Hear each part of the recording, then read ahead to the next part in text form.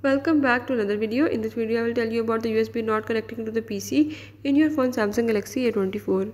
So for this device if you are facing the problem of USB is not connecting to the PC, I will tell you how you can fix it. Watch the video till end, follow each and every step and you will learn about it. Before that don't forget to subscribe my channel. Now let's watch it.